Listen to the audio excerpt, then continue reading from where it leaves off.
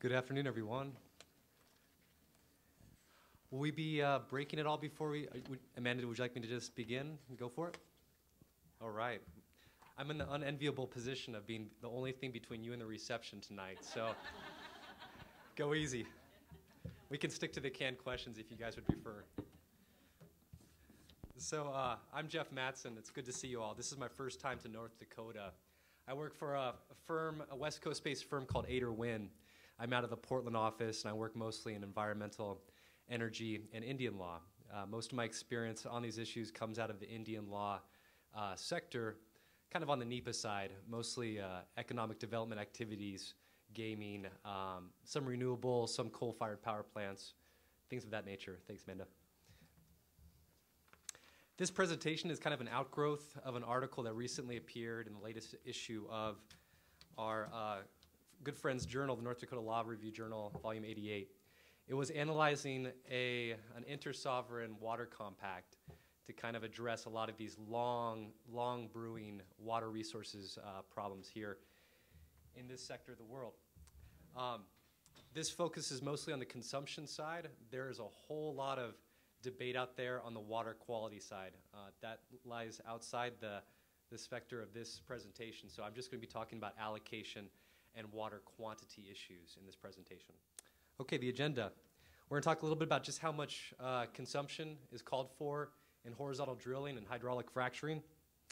Uh, the, the, groundwater surface water connection uh, impacts the surface water affect groundwater, vice versa, and impacts to states and tribes.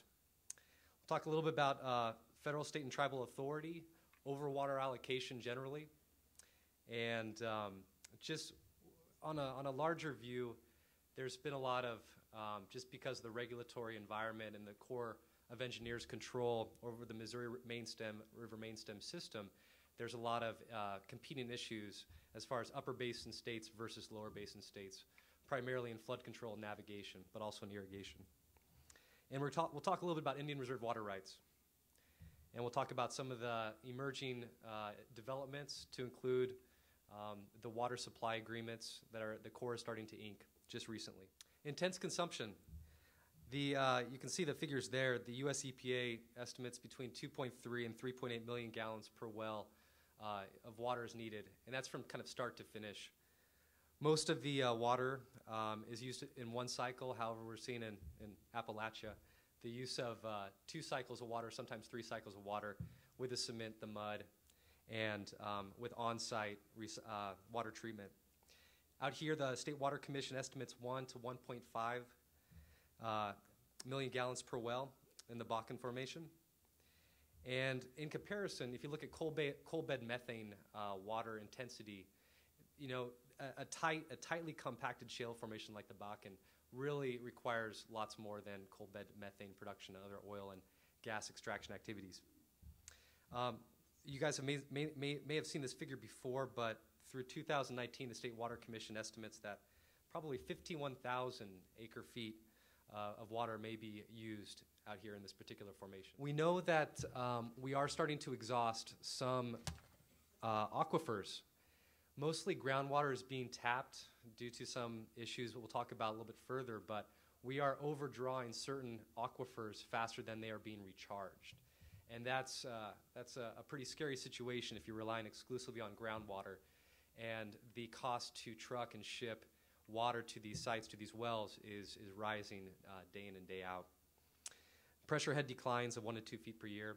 Uh, that's uh, expected to actually increase over time. The collateral demands, in addition to just the wells themselves, many of you are familiar with the, the man camps out there in, in western Dakota. Uh, the man camps, also the families, and uh, you know the increased infrastructure that's being developed out there, apartment complexes, city services. There's intense water consumption both at the, on the fields as well as in the towns and rural communities.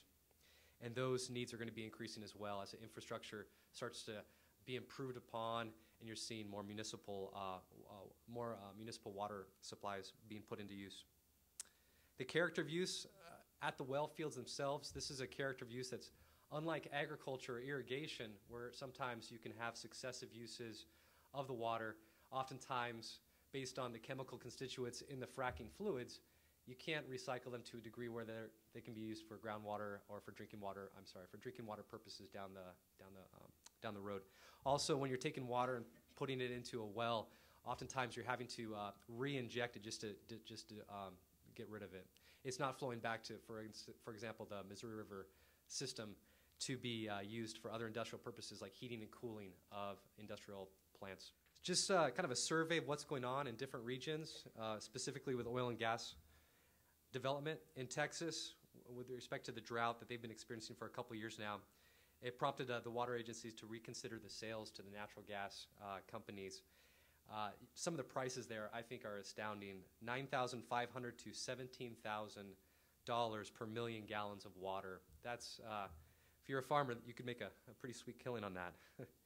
In Colorado, companies uh, successfully bid for the first time just last year on water that was uh, not yet allocated, uh, that had been uh, historically claimed by farmers, and then you have the uh, pub the public at large going, "Goodness, is this really good thing we want?" Where oil and gas development is is uh, contrasting sharply with the needs in the agricultural sector. In Pennsylvania, this is an interesting model, the Susquehanna River Basin Commission. It's a, a river basin commission that has authority to manage all of the waters in the Susquehanna and the tributaries. And they actually uh, temporarily suspended some natural gas withdrawal permits. And that was kind of the first time a, uh, a regulatory body just basically suspended, said, sorry, the river, level, river levels are too low. And what's interesting is Pennsylvania, it's a riparian state uh, with respect to water law.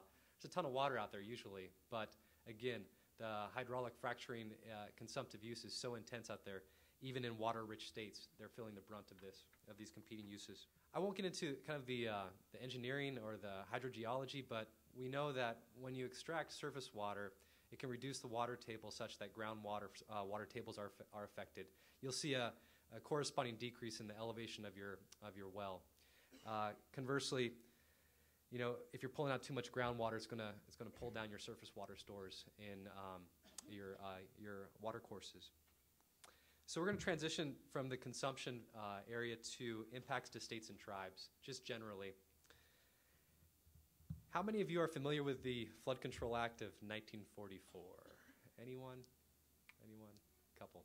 Okay so the Army Corps of Engineers is in charge of the, the main stem system, uh, the six main reservoirs here on the Missouri River. And unfortunately, this archaic Flood Control Act of 1944 established eight competing uses, all the way from navigation and flood control, these dominant uses, down to these secondary uses, fish and wildlife, recreation, um, water supply generally for municipal uses. And the Corps of Engineers while it doesn't own the water rights themselves, it manages the storage at the storage at the reservoirs. And by managing the storage in the reservoirs, they're kind of a de facto they're a de facto river manager or a river master. And so the road to water in this area, the, in this neck of the woods of the country, goes through the Corps of Engineers. Um, some of those uh, enumerated purposes are outlined on that slide. Oops. The Flood Control Act of 1944 was amended uh, several years later by the O'Mahoney um, Millikin Amendment. And what this did was it, it, it highlights the, um, the two different shades in the Missouri River Basin. You have the prior, appropriate, prior appropriative, drier, arid upper basin states and the more riparian, more humid lower basin states. And it said that for those um, consumptive uses like irrigation, um, those will be uh, weighed in, uh, at a higher, higher level than navigation and uh, some other downstream uses. Um, as a practical matter, in my research for this article, navigation in the Missouri River down the lower uh, reaches towards St. Louis is just a fraction of what it used to be in the 80s.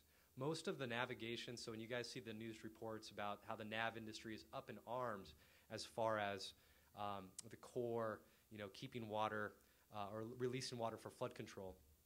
Uh, it's, it's really, it's, it's kind of a false argument. It's, it's a red herring. Uh, the nav industry, most of it is sand and gravel, and the, the bulk of the sand and gravel, even though by volume it's pretty, pretty impressive, it's only being processed about a quarter mile to a half mile away from where it's being extracted in the riverbed. So navigation really isn't that big of a, it's a paper tiger right now. State authority,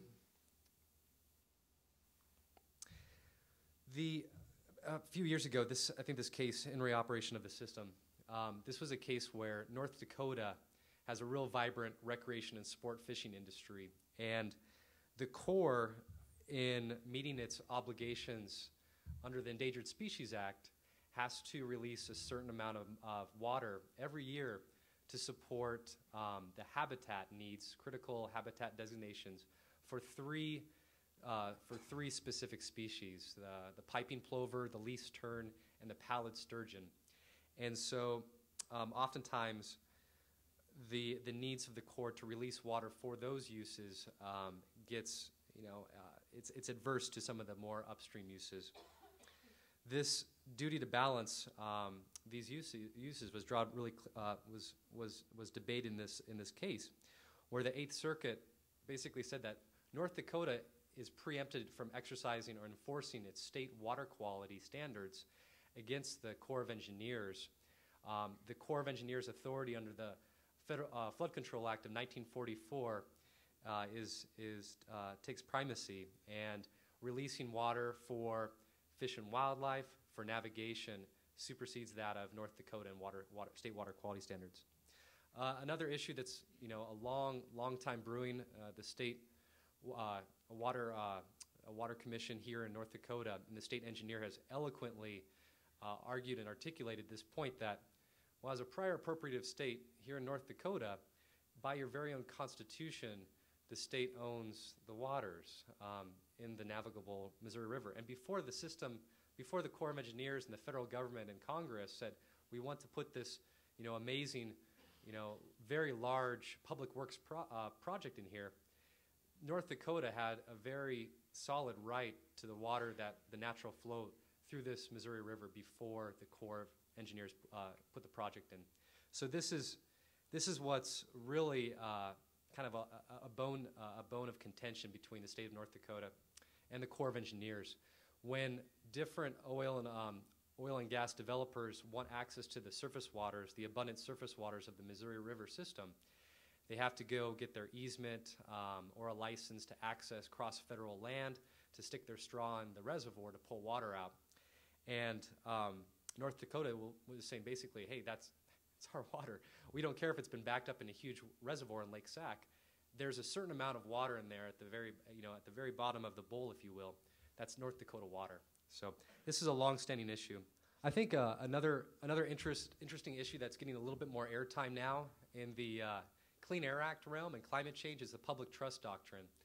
North Dakota is one of the one of a, a minority of states, much like Hawaii, uh, Oregon, Washington State, that have articulated a public trust duty on the part of the state to manage its water resources and other public trust resources for the betterment of, it, of the public. So what that does is the state engineer and the water commission has to engage in a planning process before, um, before basically entering into contracts that are going to draw down those important public trust re resources.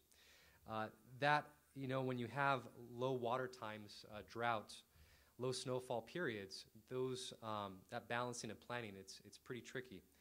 Uh, some of those uses, the public trust uses that have been articulated by the North Dakota Supreme Court include swimming and recreation, fishing, as well as irrigation. So again, kind of goes to that balancing act. A little bit more about the uh, comprehensive state plan and the uh, issuing the water permits. So that public trust doctrine is important in each one of those permit issuing, issuing decisions. Moving um, on to tribal authority. Now, some of you are probably familiar with kind of the, the Montana decision and its progeny. And as separate sovereigns, the tribes in the Missouri River Basin have uh, reg regulatory control over the water resources within their boundaries. Um, the EPA treats tribes as states for most of its major pollution control programs and its environmental statutes, Clean Water Act, Clean Air Act, RCRA, CERCLA, you name it. So tribes are an important part of this discussion, uh, not to mention, you know, on, on Fort Berthold, we have, you know, in it's sitting right above the Bakken Formation, and um, the three affiliated tribes are, as I understand it, are presently moving forward with plans to open a refinery, processing plant on the reservation itself. So tribes, even uh, some of those ones that are more further extended, the Rocky Boy uh, Reservation, et cetera, that are further away from the main stem, tribes are a part of the conversation. Um, and, and, and, and their authority over, over water resources lends more to that kind of uncertainty. This supply uncertainty uh, is also exacerbated by the effects of climate change. And I think what's, what's interesting is the, with respect to the increased fluctuation of these dry wet periods, going back doing the research, that 1993 flood that was especially felt along the Mississippi River basin, where you know barges of goods were stranded for days and weeks, uh, basically followed the 19, 1988 drought. Uh, as we saw, the 2011 500-year flood event on the Missouri River. Granted, it wasn't felt that much by North Dakota. The, the severity of the flood was more, long, more felt along the, uh, the lower reaches in Iowa and Missouri.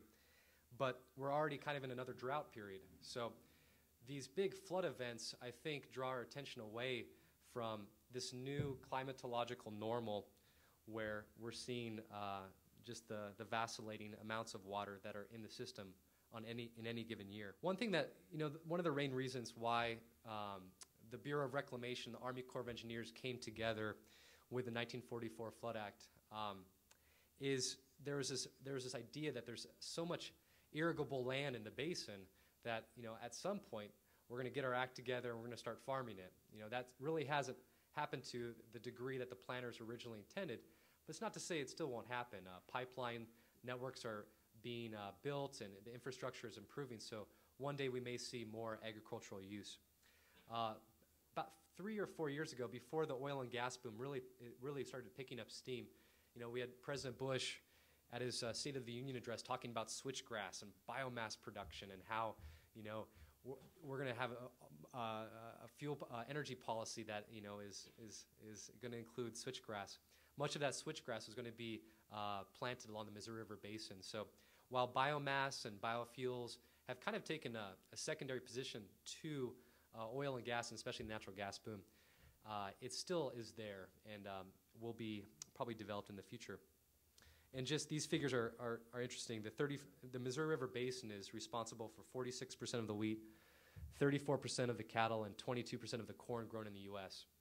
So what, basically what that boils down to is the Corps of Engineers' responsibility for managing that system, for especially flood control. Um, it's important because uh, a lot of that fertile cropland and farmland is down there along the, um, the lower, along the, uh, the river basin itself that has a propensity to flood. So continuing on with the supply uncertainty, the Indian Reserve water rights that we um, I mentioned earlier, these numbers are a little bit old. Um, the 8.6 million acre feet per year, that's um, kind of the total outstanding. The Mni Sose uh, Water, Resor- Water, uh, Water Rights Alliance, it's a, uh, was a predecessor organization to the Great Plains Tribal uh, Alliance uh, for, water, for, uh, for reserved water rights. They estimated this is probably mid 90s, 8.6 million acre feet. The Corps of Engineers used that value as a planning value when it rewrote its uh, master manual for operating the main stem, main stem system.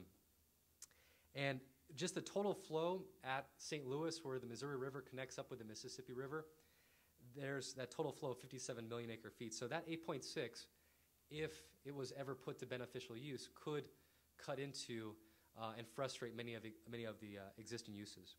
Water marketing, it seems like it's less of an issue these days, but at times different tribes and private entities have um, uh, tried to uh, go, uh, tried to enter into agreements to market and sell water via pipeline out of the Missouri River Basin north um, and into the Hudson River Basin.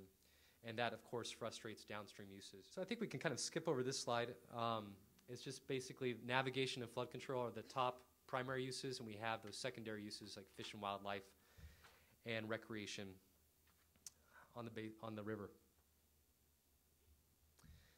So, just uh, from an engineering standpoint, the, uh, the way that the Missouri River system functions, if you imagine a, a, uh, each one of the six main stem reservoirs, the Corps of Engineers has to evacuate a certain amount of water each fall prior uh, through the winter before things ice up to accommodate the uh, slam of rain uh, of runoff in the spring, the spring run, if you will, of runoff. And if you don't have enough capacity in those reservoirs to uh, to hold that runoff, what happens is you, you saw the effects of the uh, 2011 flood where, you know, record releases at Gavins Point um, you know, is just, it was a very severe flood event. So it's this balancing act. And when you talk about reserved water rights, how much water the Corps of Engineers needs to retain in each reservoir pool um, to protect those reserved water rights, whether or not they're in play or being used or exercised or put to beneficial use, um, it does affect the ability of each reservoir to function as a uh, flood storage. So, kind of moving into more just the uh, impacts to states. The uh, using North Dakota as a, as a case study, the industrial use is listed as fifth in priority after domestic, municipal, livestock, and irrigation. Um, kind of a historical focus on agricultural use. And so, in this boom time that we're all living in, when the need is strong to, um, to find water for industrial use, oil and gas development constitutes an industrial use. It's tough to convert existing permits uh, to a lower priority use. There is an exception in North Dakota um, uh, Century Code to uh, do temporary in lieu uh, permits, whereby you could have an existing permit for uh, an ag- agricultural use, and that can be uh, flipped over for a temporary period to industrial use. So impacts to tribe tribes. You know, so oil and gas development. Some tribes are are kind of jumping into oil and development, um, oil and gas development, especially three affiliated tribes, and it's it's a great it's a great economic development tool. It contributes to tribal sovereignty and uh, services and programs on the reservation. Uh, definitely supports the self-determination policy that's been in place since the 80s. But you know, with a special respect, with a special respect to the water quality discussion, tribes are still concerned because with the potential for well casings to breach and the contamination into groundwater aquifers, some tribes are still a little bit leery about bringing in um, or entering into leases on their reservations, some reservations. Of you know, of special import, most of these tribes, um, much like most rural communities in South Dakota, North Dakota, and eastern Montana, rely exclusively on groundwater sources for their municipal and domestic water uses. And so that kind of, you know, fuels the fire of those concerned about the water quality the specter of well casing breaches and contamination to groundwater. So, as the technologies improve, um, is anyone here familiar with the, uh, the processing or refining facility that's going to go in at Fort Berthold? Is anyone familiar with that? Um, I think it's supposed to go online 2013, end of 2013. So that'll be uh, that'll be um, very helpful for those uh, those recovery. So Indian Reserve water rights, I think uh, it bears, mention, bears mentioning the, they're present perfected, so as distinguished from state water rights, they don't need to be put to uh, beneficial use to be certified under state law.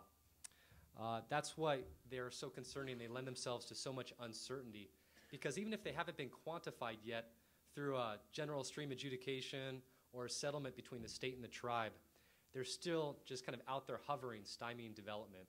The quantification, um, you know, it's, it's, it would probably, you know, this is just my opinion that quantification, where I've seen it done, especially Montana, is leaning forward with water rights settlements between the state and different tribes. It does seem to add a level of certainty for what these developed uses, uh, especially when you, when, you, when you get into a boom time situation of oil and gas development. Everyone, every single one of the players knows exactly how much water is committed to each of the sovereigns and they can make up their minds about what, how they want to use that water and develop it. Um, the quantification discussion gets a little bit trickier uh, if you look at tribe to tribe. Some of the tribes, especially um, those in South Dakota, see quantification as almost a concession to the federal government or state government uh, that they have uh, they're, they're, conceding rights to uh, the water as well as land because of a historical interconnectedness between land and water. So hesitancy, hesitancy to uh, quantify there. And then as a snapshot in time, what's, what's a little bit interesting is if you quantify now, will you be quantifying the appropriate amount of water for future use, future development on the reservation? That's another concern that, that tribes have. And then finally, even if, let's say, perfect world, uh, all existing Indian Reserve water rights were quantified, it still doesn't entitle tribes or states for that matter of a specific amount of allocation at in each Corps reservoir. So uh, the Corps can enter into um, contracts and um, with different entities for a right of storage, but quantifi- quantification does not mean that each reservoir will have a certain 10% allowance for a particular constituency or sovereign nation. Uh, another level of, uh, of uncertainty out there that I think it bears mentioning is that there's kind of a un, unsolved question I- with respect to whether Indian reserve rights apply to groundwater sources. The courts are trending in the direction that Indian reserve water rights apply also to groundwater sources as well. There's a um, Arizona Supreme Court decision, one of the Gila River uh, litigation. There's also a um, High Court decision in Montana, and there's uh, a vacated, well, it was published, but it was later vacated due to settlement of a Western District uh, federal court decision out of Washington State that says, regardless of where the water's coming from, whether it's a groundwater, aquifer, or surface water, the, according to the Winters Doctrine, which is the basis for these reserved water rights, um, to fulfill the primary purpose of the reservation, the tribes can reach for the water through groundwater or surface water supplies. It's still up in the air whether the Eighth Circuit and different state courts within the Missouri River Basin will take that as persuasive or, or just a, a good idea. So we're kind of at the point in the presentation as a way forward. What's what's what's happening and what, what where's the uh, where's the way? How will states uh, and different entities, tribes, access specifically Missouri River system water? Um, the good news is that the Corps is undertaking different studies um, in support of surplus water determinations at each of the six uh, main reservoirs in the Missouri River system. And I threw up here uh, litigation possibly between some of the basin states and the United States government. Not to say the Corps has been dragging their feet, but it's been very difficult to find the, the, per, the, the exact authority under the Flood Control Act of 1944 or perhaps the Water, um, uh, the Water Resources Act of 1958 as to how the Corps can go about entering into these either short term or long term water supply contracts. And so, what they're doing is, what the Corps is doing is under, under um, National Environmental Policy Act, NEPA, they are undertaking um, a study. The first one at Lake Sac resulted in a finding of no significant, uh, uh, a FONSI finding of no significant impact. Thank you. Um, for the Lake Sac withdrawals. So every time the Corps enters into even a short term, even if it's only a five year water supply agreement, it's beholden to, um, uh, to, to go through a NEPA process and do the NEPA analysis. So the interstate, I threw down there, threw up there on the slide, the interstate or intersovereign water compact. Because of the success in primarily riparian, more humid environs, uh, water commissions, the Susquehanna River Basin Commission and the Delaware River Basin Commission in managing an entire basin water source, it seems um, like a viable, um, it seems like a viable management solution, even in the Missouri River Basin. I hear some giggles up there, so I'm, I'll welcome your questions. Uh, the final surplus water report for Garrison Dam and Lake Sac. This, this always frustrates me. 100,000 acre feet per year. If you go to the store, you buy any, uh, any good, and it's being sold for a flat 100,000, doesn't that pique your interest a little bit? That what type of uh, engineering went into coming up with that figure? 10 years, 100,000, we know it's there. But that is the figure that the Assistant Secretary of the Army um, came up with as far as the amount of surplus water available for municipal and industrial, eh, i.e., oil and gas development water use for Lake Sac, and Lake Sac being the biggest, um, the biggest reservoir in the main system and, cl- and, closest to the Bakken Formation. This, uh, these surplus water agreements, they're capped out at five years, and what's pretty amazing is, so the Corps is undertaking a, a nationwide pricing policy to uh, establish what should be a fair price in uh, basically entering into these contracts for water supply. And right now, until they lock down through you know formal notice and comment rulemaking, the price to that price for that water is, is at no charge. It's basically free for right now until that pricing policy goes into effect. And the, the, the specter of easements uh, for access and licenses to cross the federal land to even stick your straw into a reservoir to pull out and access water, to extract water, is still ever present and must be dealt with. The uh, first surplus water agreement was just inked uh, this winter on September, or I'm sorry, on December, I think it was December 31st, right around Christmas time, the Northwestern Division and the Assistant Secretary of the Army uh, approved this contract and it went into effect on February 6, 2013. It's the first of its kind. It, this agreement is going to allow International Western of Southlake, Texas, to withdraw surplus water for use in the Bakken Formation. I think this site, where the actual withdrawal site, is going to be pretty close to Williston, if I'm not mistaken. The next, um, so that's going to be the first of its kind, and there's you know hundreds of these water supply contract applications in the queue.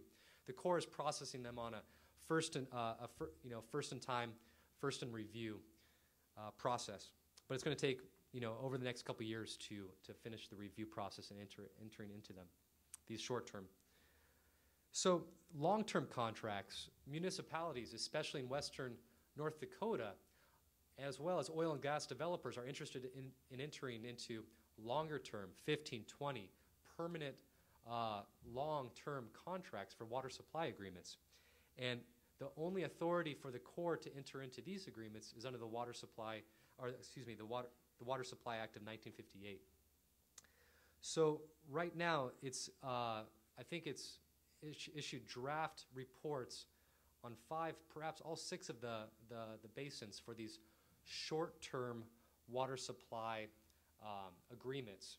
And it's still working on a larger, all-encompassing reallocation study, uh, which will probably require an actual EIS and not just a environmental assessment, you know, FONSI. So this EIS and the larger reallocation study to see if there's enough water available at the reservoirs for municipal and industrial uses over 15 to 20 year time, time periods is, is ongoing. And that'll be uh, great use and will contribute to certainty. Okay, that uh, wraps up my presentation. I'd love to uh, answer some of your questions. And the canned questions are okay.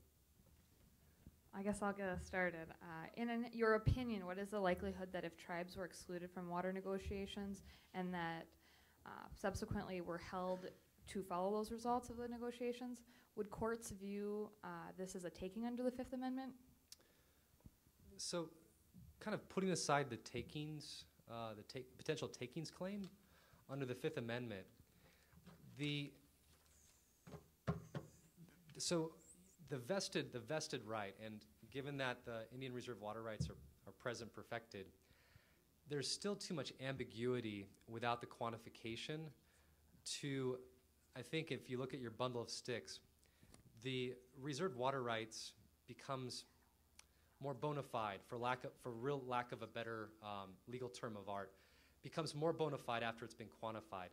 And still this, this, this time frame where we're, where we're at, where the Indian Reserve water rights are not yet quantified, it would be, you'd be hard pressed to number one, I think establish injury and, and, and put a you know a dollar amount on damages on exactly what what was taken um, when the reserved water right is, is not yet quantified. But again, like uh, the uh, speaker before me, I didn't really study that question before. Water in the lake is owned by the state of North Dakota, and that to draw it, first a, a permit from the state is required, and then a permit to cross the Corps of Engineers land to actually get to it and access it. So I can't speak to the ownership. I think the Corps of Engineers would still, and I and again I need to clarify. I I worked with the Corps of Engineers during law school, but I was never a Corps, employee, a Corps employee. I do not speak on behalf of the Department of Defense or the U.S. Army. But I would I would go out on a limb and and suggest that North Dakota, North Dakota has pretty good title to most of the water that's in that reservoir. I I would, I would, I would go that far. However, as far as the, the, the, the, um, the temporally, which permit is required first, that is, I, I'm not sure how the Corps is currently doing that. Um, I know for the free stretches of the river, for certain, you would have to go, so above, um, above Lake Sac, you would have to go through the Water Commission, state engineer, get your permit. But for the reservoir, um, I don't know if the state permit is a necessary prerequisite before you can start entering into negotiating for an easement to cross the federal land for a reservoir. So from a, from a physical perspective, you have reservoirs which are, you know, like with most of the river, is, is kind of held under this navigation servitude you could think of. And so, but those free range stretches between the reservoirs, I think the state of North Dakota is, a is in a much stronger position to assert its permitting authority before um, pulling water out, if that answers your question. That was kind of a tap dancing answer. Hi, I do have a question. Um, Yeah, shoot. Interested to see if you have a perspective as far as the Eighth Circuit case law, either district court level or court of appeals, with regard to preemption in this general area of water resource. Just, uh, are you seeing any patterns or anything that, in terms of whether they'll be taking a broad view of preemption or a, or more narrow view? Mm. You know, the, the Eighth Circuit hasn't really articulated, especially with respect to federal law, if I understand you right, the correction of federal preemption over state law. Right. Um, I think it came up the most in the in re um, operation of the Missouri River Main Stem System case.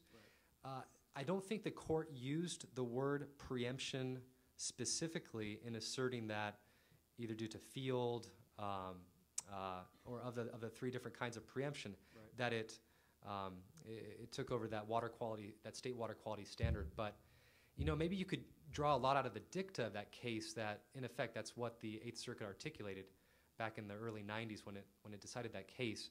Since then, um, I haven't seen any of the lower courts in the, in the circuit or the Eighth Circuit touch upon, uh, upon that question. Um, with respect to, not to, not to, um, not to throw out the inter-sovereign compact as a, uh, not to try to hard sell it on you guys, but um, it is interesting in that, you know, it takes federal legislation to get rid of the, to supersede the Flood Control Act of 1944. And um, I, I just would like to see some federal legislation on the matter just to, for once and for all, really directly a frontal attack of the Flood Control Act of 1944 because that's really standing in the way of a lot of um, uh, a lot of forward progress on this issue. I have a question. Uh oh.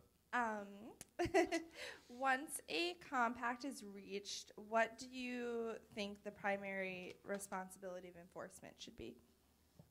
So, or um, who do you think should have the responsibility for enforcement? so in, in the article, I, I, I, I thought that might be a there might be a good solution or a good model in this. Uh, I think it was the Three Sovereigns, the Three Sovereigns organization out in uh, the Columbia River Basin. So, where I hail from in the very swampy, wet Pacific Northwest, and in dealing with the different uses, uh, the Columbia River Basin, hy- hydroelectric power, uh, fisheries management. We have some of, some of our own competing uses. The Three Sovereigns Initiative kind of established a quasi decision making body for both enforcement, planning, and regulation purposes. And each one of the sovereigns, states, tribes, the federal government, had equal voting power. And only by a decision of this, um, this body, similar to a commission, um, could it enforce. And so the who of your question, I would like to see it more of a collective body, a regulatory body, such as a, a river basin commission. So it wouldn't be, uh, it wouldn't be any specific sovereign or individual or chair or member or specific committee. It would be the um, executory commission of that regulatory agency. Hi, Mr. Matson. You know, I'm just thinking about the tribes in North Dakota and what they could do in order to ensure that their tribal sovereignty is protected. Because I know you mentioned an inter-sovereign approach, but historically, tribes have always been so- at somewhat of a disproportionate bargaining power Right. in that scenario. So, I mean, what are your thoughts on that?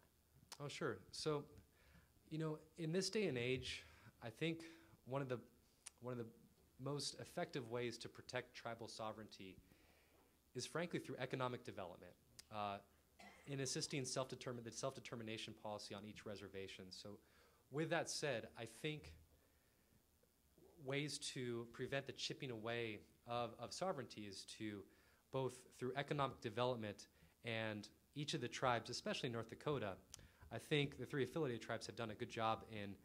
In fact, they're currently working on uh, a regulatory regime to regulate fracking on the Fort Berthold Reservation. And so, through economic development initiatives like you know going through and leasing uh, different areas of the reservation for oil and gas, other economic uh, development initiatives, whether it be energy production, other private, I'm not sorry, tribal corporations, that economic development and also the, the assertion of regulatory jurisdiction, civil and criminal, is, is the, the two most important means to protect existing tribal sovereignty and protect it from being chipped away. I think if you take fracking as, as an example, what better way to protect tribal sovereignty than asserting the, the, the tribe's natural resources department and promulgating its own regulations for water quality, for um, you know just what the, the, the water treatment options are on the reservation. So they kind of go hand in hand. Economic development as an engine for self-determination, but then also the tribes regulating their sovereign area. Thank you very much.